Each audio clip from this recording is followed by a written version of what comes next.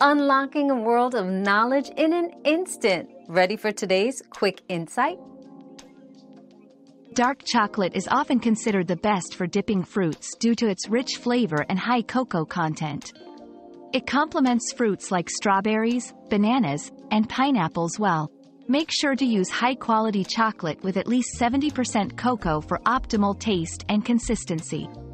If you prefer a sweeter option, milk chocolate also works but remember it may not achieve the same rich contrast.